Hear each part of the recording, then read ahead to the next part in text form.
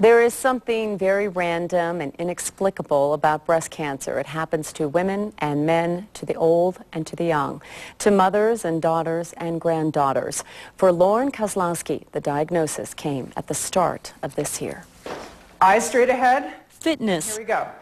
Hey! Food and faith, the mantra for Lauren's life before. Hey! I definitely have prided myself on my ability to stay strong and even training for my black belts. I fall down, I get back up, I don't give up. A life of achievement and discipline. Focus in, Sherry. Come on. Hey! I thought I was in control of my life, yet I have faith, very strong faith. What this has taught me is I don't have control. A life in control, or so she thought. Hey! Excellent. The truth of the matter is, when you're faced with life and death, bottom line, none of us are in control. Okay, so from here, Everything was shaken by this diagnosis. you have invasive ductal carcinoma grade 3. And so immediately, from the top of my head to the bottom of my feet, I felt this numbness. Immediately, Lauren's strength shifted to new challenges. She had a double mastectomy followed by chemotherapy and now radiation. Her new mantra is faith, family, and friends. In the darkest moments, they are there. When her hair fell out, her children held their mother close.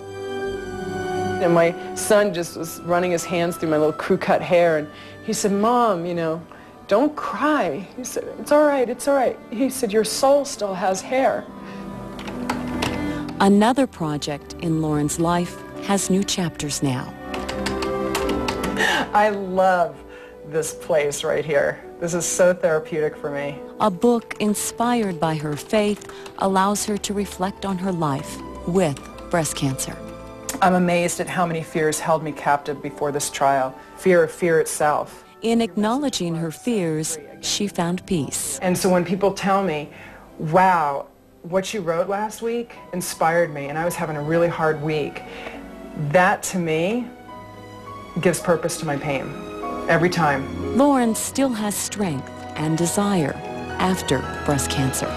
Only now she has another reason to inspire. Today, every day, I hop out of bed and I say, I am alive. Anything beyond this breath is icing on my cake.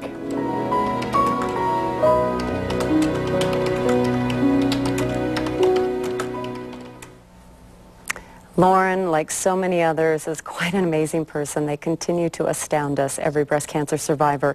And as she said, she has tremendous faith. She's writing a book about her faith, her spirituality, and now this journey. She is halfway through her radiation treatment at this point. Her hair is just starting to grow back.